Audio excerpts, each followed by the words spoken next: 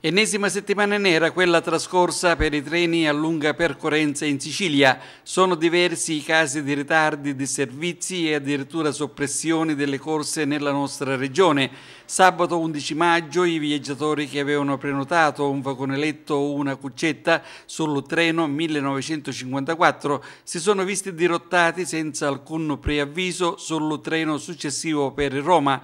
In partenza, due ore e mezza dopo, gli armati di bagagli sono stati costretti ad attendere nelle stazioni senza alcuna assistenza. Analoga sorte è toccata nei giorni precedenti ai viaggiatori dei treni 729 e 730 costretti a trasbordare a Messina anche loro con i bagagli pesanti su mezzi del trasporto regionale per poi essere imbarcati sulla nave traghetto e dirigersi a Roma.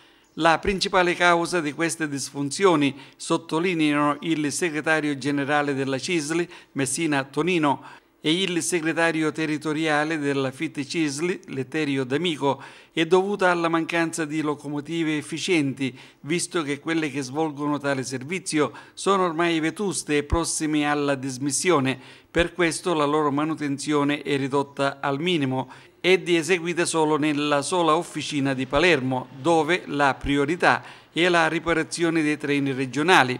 Ancora giovedì scorso il treno 730 per Roma è partito da Palermo con 75 minuti di ritardo perché mancava la locomotiva e il treno 1964 per Milano è partito con un'ora di ritardo.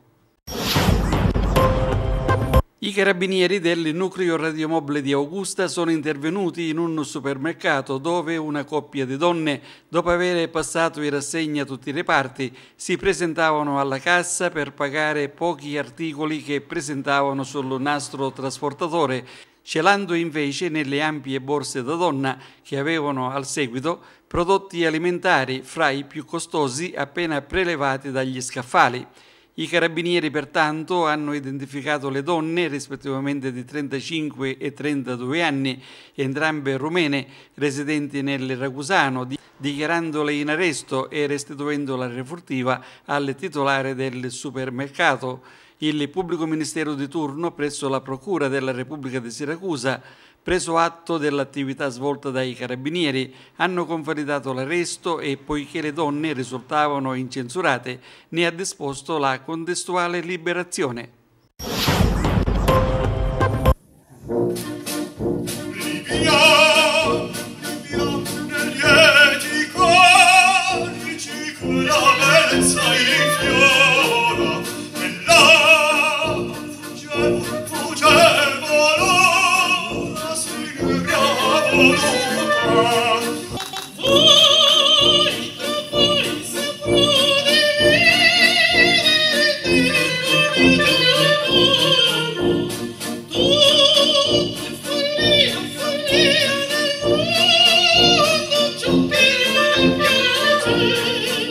È stato un successo il secondo concerto di primavera della banda musicale di Carlentini, diretta dal maestro Marco Loisi, con la partecipazione del tenore Antonio Alecci e della mezzo soprano Silvana Iannelli.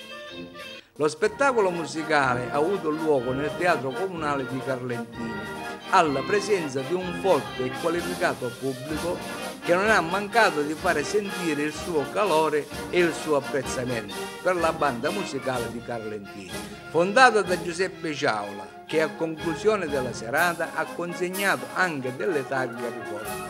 Al sindaco di Carlentini Giuseppe Stevio e ai componenti della banda musicale. Io ringrazio anzitutto tutti i ragazzi e le mamme e i genitori, mia moglie che mi dà anche la possibilità e tutti i genitori che fanno sacrifici per i ragazzi. E se avete ragazzi portateli alla banda tanto non si paga, è gratis e sarà una cultura per i ragazzi. Ringrazio il sì il sindaco dei Carlentini Giuseppe Stefano ringrazio il maestro Marco Loisi che lascia tutto impegni per i ragazzi